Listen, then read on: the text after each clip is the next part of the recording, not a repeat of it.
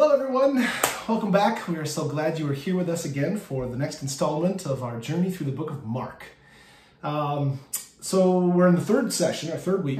Uh, two weeks ago, we talked about the beginning of Mark, how it like went super speed. It was like warp speed through all the stuff that you know Matthew and Luke take like four or five chapters to get through. So basically, you start with Jesus Christ. You got John the Baptist. You got the baptism. You got the temptation in the wilderness, and then Jesus' first message of you know repent for the kingdom of God is near. I think that's what he says. All in 15 verses. So that was our first session two weeks ago. Last week we jumped up into the seventh chapter of the book of Mark, uh, where we met the Syrophoenician woman. So Jesus had left town. He was in the uh, the in the um, area of Gentiles, if you will, those uh, who were non-Israelites, uh, non-children of God, and has a conversation with a woman whose daughter was sick, and um, she asked for healing, and Jesus said, uh, "You're not one of us, sorry." And she said, "But you know, even the dogs get the scraps from the master's table." In other words, last I checked, we're human beings too, right? We had a respectful little debate about the intentions behind what he said. So It if was you a didn't see debate. that, check it out. I won. So That's not fair. You always win. yeah, true. Um, but yes, because I agreed with you. Yes. Wonderful pastoral insight by Pastor Kelsey. Just listen to her. Um, so that was last week. Uh, so we talked more about um, who is in and who's out. And through that conversation, uh, we find out that even the Gentiles are in. And how that relates to our lives these days. You know, we, we sit in di- those dividing lines, those walls that we build about who's in and who's out. Jesus says, tear those walls down. We're all in this together. So, uh, this week, we get another question. We're going to jump into Mark chapter 8. But before we do so, let us pray. Oh, Father of our Lord Jesus Christ, we give you thanks for giving the gift of your Son. Send your Holy Spirit to guide us as we follow the way of the cross. And all of God's people say, Amen. Amen. So, our reading for today is Mark chapter 8, starting in verse 27 and going through the first verse of chapter 9. Ah, So, Pastor Kelsey, would you please do us the honors? Always. I'll pick up at verse 34, give you a break. deal. All right. Jesus went on with his disciples to the villages of Caesarea Philippi, and on the way he asked his disciples, Who do people say that I am? And they answered him, John the Baptist, and others Elijah, and still others one of the prophets. He asked them, But who do you say that I am? Peter answered him, You are the Messiah. And he sternly ordered them not to tell anyone about him. Then he began to teach them that the Son of Man must undergo great suffering and be rejected by the elders, the chief priests, and the scribes, and be killed, and after three days rise again. He said all this quite openly, and Peter took him aside and began to rebuke him. But turning and looking at his disciples, he rebuked Peter and said, Get behind me, Satan, for you are setting your mind not on divine things, but on human things. Verse 34, if you're following along.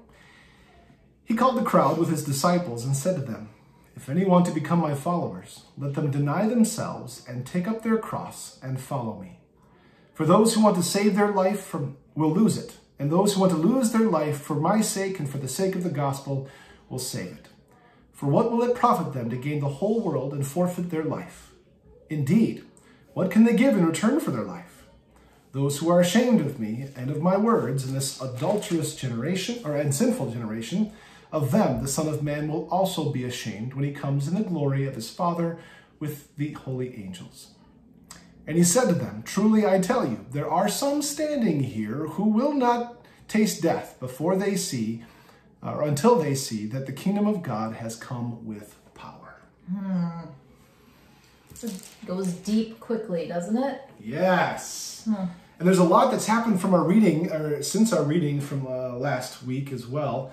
Um, so I, I definitely invite you to read those. Some of the stories, they're just still like, I don't know, every time I read how, um, so Jesus feeds the 5,000, feeds the 4,000, they hop in a boat after he had just basically, prov- you know, fed 10,000 people, plus women and children, uh, with, with a couple of loaves of bread. uh, the disciples didn't have any bread in the boat, and Jesus is, and they're complaining like, "What? We don't have anything to eat." And he's like, "What? Really? Are you still not getting it? I just fed ten thousand people. You're okay." so here we have all this building up to this moment um, where there's this wonderful conversation between uh, this crowd and uh, the disciples. Jesus gathers them together uh, and, and starts to ask them, Who do you say that I am? But before we get there, um, there's a couple of terms that I want to I want to tackle first. The first one is Messiah. Uh, so the word Messiah is a Jewish word that literally means anointed one. The the Greek counterpart, or the Greek uh, um, word for that would be Christos. So Christ. If you didn't know this yet, Jesus' last name is not Christ. That's why you see Jesus the Christ, the Messiah, right? Right. So Yeah. the word Christ or Messiah means anointed one. In the Old Testament, it comes up a number of times. Really, anyone who is a uh, um, a prophet or a, a messenger from God, someone who has been divinely appointed. Deliverer. Okay. Yes. Um, is known as a Messiah. So you come across this uh, in the book of uh, Samuel and, and Kings, I think, maybe even some Psalms. Uh, a lot of the is, uh, Israelite kings, uh, David, for instance, would have been known as a Messiah. Isn't that interesting? Yeah. Okay. Um, so a divinely appointed person from God.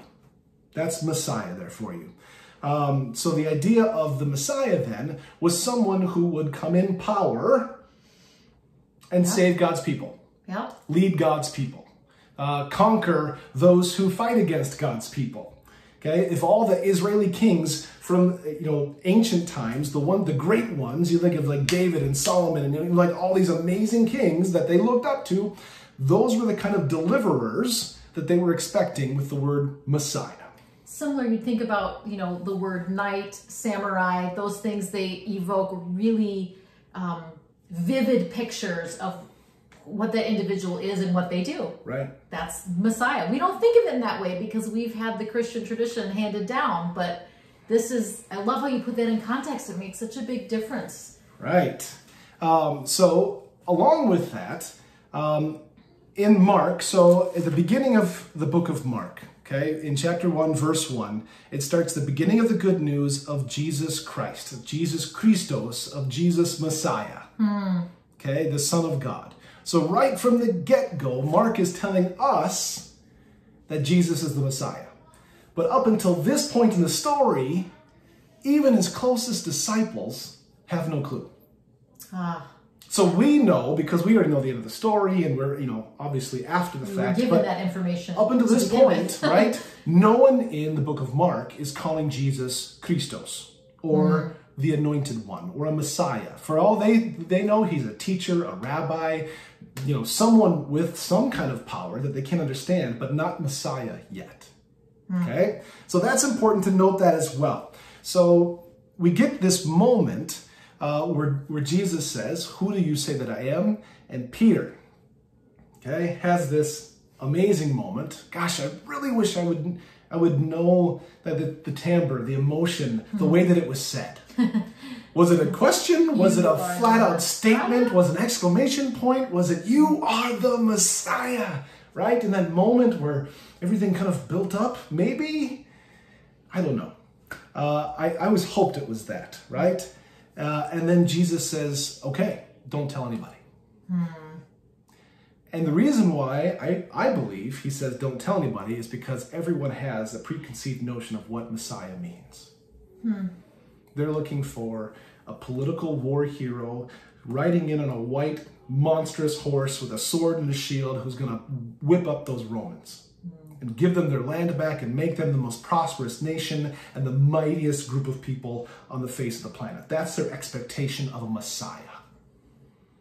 So here Peter says, You're the Messiah, and Jesus says, Yeah, don't tell anybody that. Hmm.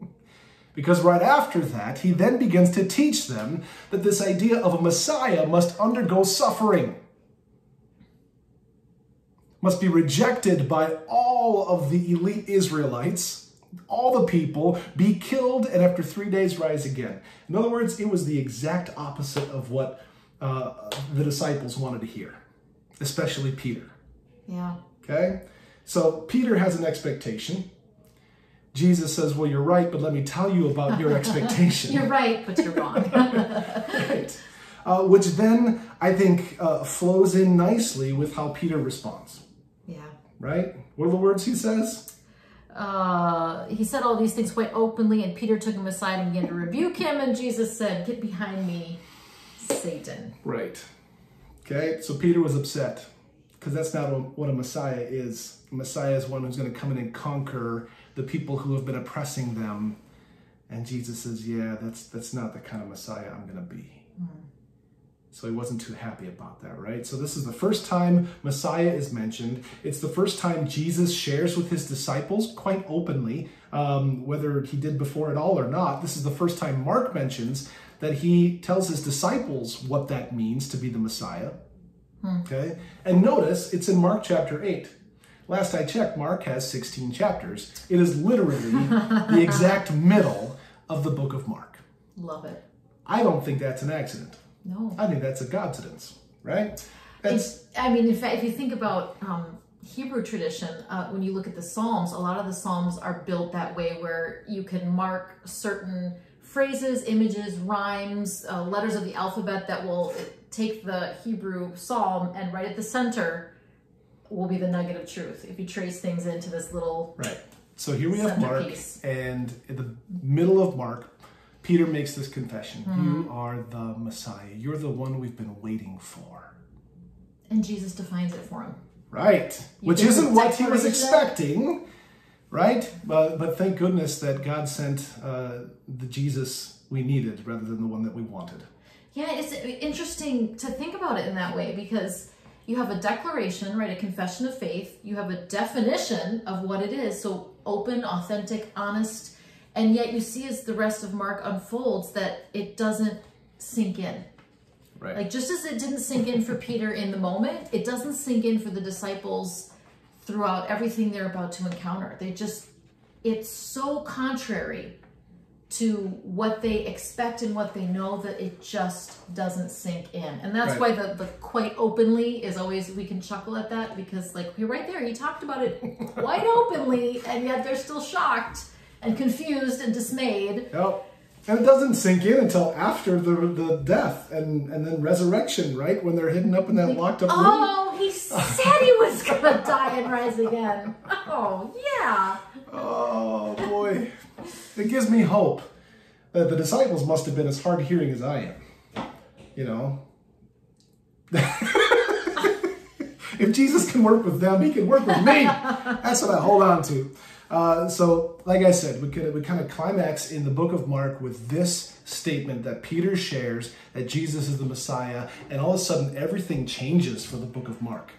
Yeah. Right? So up until this point, the expect the hope was is that Jesus would be the war horse savior, the one who was going to rip out those Romans. And at this point, Jesus says, I'm a different one. And then the book of Mark kind of takes a little change. And now it's this Christ who will suffer. Hmm.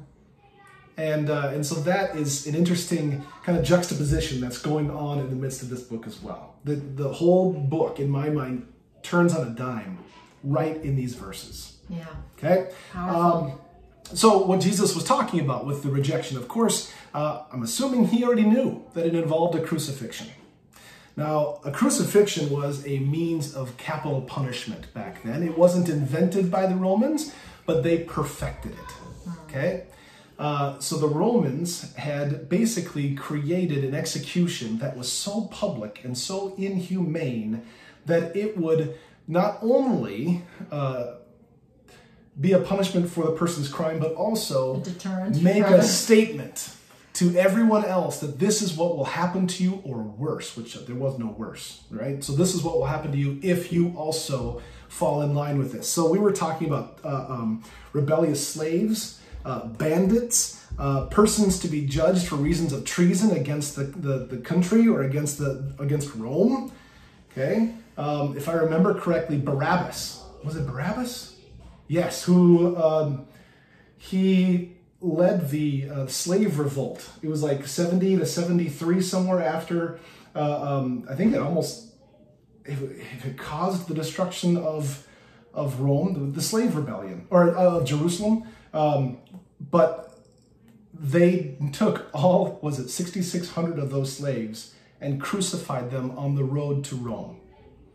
6,600 crucifixions to make a statement. If you cross Rome, this is what happens to you. That's crucifixion. Spartacus? Spartacus, thank you, Navarretus. Oh, thank you. Like, okay, uh, it's similar, but yeah. No, because I was thinking, you know, you've seen the old movie from the 50s with Kirk Douglas, who plays oh, Spartacus. Yeah. But that image, oh, I'm glad you said that because that image has always stuck with me because we think of Christ on the cross, and it, and that becomes such an iconic image for us with the criminals on either side. But when you think about what you're saying and how people live in a context of crucifixion and that that image of hundreds and thousands of people, just how disturbing and upsetting, especially under the rule of a, a tyrannical leader, anyone and everyone could be put up on a cross for very little justification. Whether they're guilty or not. Yeah, what a, it, it's living in terror, really, every day. Right. So Jesus wasn't the cru- the first to be crucified, obviously. So people knew what crucifixion meant. Okay. Um, so all of a sudden, Peter and the disciples and anyone else who was hearing the story went from following a Messiah who was going to save them from Rome to now following a Messiah who was about to be crucified mm. with the worst execution known to humankind. So even that conversation, how much that must have changed. I mean, it justifies Peter's response, or Peter's response of, of no, you can't let this happen. Yeah. Um, but everything would have changed for those disciples now. Instead of following, uh, what does it mean for you to follow a war leader, to now, what does it mean to follow uh, a loser or someone who will lose their life? Yeah. It completely changes their understanding of, of what it means to follow that kind of a God, that kind of a person. Uh, in all the history of all the religions, we're the only one who worships a God who was killed. Mm. Because for everyone else, to be killed is a form of weakness. That if your God was, if your people were conquered, your God wasn't as strong as our God. And here we have Jesus Christ who died. So that thought of a God or the Son of Man who would be killed is following something very different than a God who conquers everything. So that part is going on in the book of Mark as well. And right after he drops this bomb on him about his death, he invites them to join him. Right? uh, in verse 34, he called to the crowd and his disciples, If any want to become my followers, let them deny themselves, take up their cross, and follow me. So not only does he say, Here's where my journey is going to take me, he says, and therefore, if you truly follow me, that's where your journey is going to take you. Right. Um, so that's discipleship, right? The invitation to be like Christ. And Christ says, uh, I, I have a cross. Um, now, to be clear, I want to, because this has always been distorted in my mind, uh, when people say they have a cross to bear, or when Jesus says, pick up your cross and follow me, a lot of times we get this idea of we have to put up with something. Or God wants us to suffer. Right. right. Okay. Yes, it's very, it's problematic. Right. Picking up your cross does not mean you have a particular burden that you have to uh, put up with in life. Okay? Yeah. To pick up your cross literally means to carry Christ with you, to, to carry that notion of a Messiah who doesn't come to conquer and kill, but instead to love and to lay down one's life for someone else. Mm. Okay? So discipleship isn't about conquering other people. Jesus says, I'm going to invite you to join me on this journey where I'm going to think of others before I think of myself. I've never thought about it in that way before. I love that. That that notion of bearing the cross is carrying the entire meaning and life-changing reality of Christ's death and resurrection with me wherever I go. Yeah. So you look at what Jesus says. Um, what does it mean for you to deny yourself? That's the first thing he says. You want to follow me? You want to you want to learn from me? You have to deny yourself. So ask that question to yourself right now. What does it mean to deny yourself? Okay? So start there. And then what does it mean to pick up your cross and follow him? What does it mean to not only deny yourself, but to also have others in mind as you move forward? Uh, to also have love be the very first thing, the very first factor involved in a decision, rather than hmm. what you want to get out of it or what's in it for me. I got a great story about this. Bam, let's hear it. Last week, uh, our 10 year old was lecturing our five year old. This happens a little bit. Last week. Like, and this happens every day. but specifically, he was lecturing him and saying, Augie, you know, you have to put other people before yourself. And I looked at him and I'm like, high five, buddy. You're so right. And just a few short days later, the 10 year old was needling and making fun of the five year old and telling him, no, you can't have this because it's mine and yada yada. And I go, you know, Owen, aren't we supposed to put others before ourselves? And he just, he kind of went like this and he got this huge smile and he's like, my words just got me, mom. you got me, mom. it's exactly right. It's hard. And it's easy to look at others and say, here's how you should be putting someone else's needs before your own. Yeah. But it's it's personal. Yep. Deny yourself. And that's exactly what Peter didn't do, right? Mm. He was looking for a Messiah that would serve him and to serve what he wanted. He wanted the Romans gone. He wanted the power of the, God's people back again. And so Peter says, no, you can't let this happen. And Jesus' response to his number one, right? To his, to his uh, net, the next, you know, in the chain of command kind of thing is number one disciple. And he says, get behind me, Satan. I mean, I can't imagine. I mean, that wasn't like, you know, get your head straight or what are you talking about? He called him Satan. Dang, that's some amazing words. But I also don't think it was directed just to Peter, but also mm-hmm. to his his frame of mind, to yeah. his uh, to to his perception of what a Messiah was. He was calling out that statement for what it was. It was evil because it was so against what Jesus came for. If he came to, to carry his cross for others, then to think of yourself was about the worst thing for Jesus. Okay? Uh, hence calling him Satan. Get behind me, Satan. You're putting your wants and your needs ahead of the needs that you don't even know about that we all have, mm. that all of God's people have. You know, Jesus, I think, who knows, God finally realized that after all the conquering that happened in the Old Testament, there was no way to save his people it by just conquering the next nation because there was always going to be another nation coming in. Yep. Right? Amen. So the, I think God finally, uh, as part of the plan, maybe he had it all, all laid out, but it, it occurred to him that the only way you can conquer the real enemies here, right, of sin and death, is to go into death and take its power from it. Mm. So here you have a Messiah that is a very different kind of Messiah, one that is for people and not for self. I like too that this, you know, I like that you mentioned a little bit of the context of the book that you're hopefully reading a little bit every day to follow along with the entire book, but because this is a really kind of rigorous mind moment, uh, theological, intellectual. They're getting their words out and making sense of meaning. But in, in the midst of all of this, in the midst of Jesus, you know, telling people the, you know, the very harsh and challenging invitation of deny yourselves, Jesus is also very busy making sure people are taken care of. Mm-hmm. And so denying yourself doesn't mean um, I'm worthless, I'm nothing, I'm no good. Right. You, you're denying yourself because you Jesus is providing for you in the midst of that, right? People are being fed by the thousands. People are being healed. People outside of the insider club are being invited in. Jesus is busy doing that work too. So denying ourselves doesn't have to be sort of this self abasement harm. Yep. Um, but it is actually because we're taken care of, we are, it sounded like you now.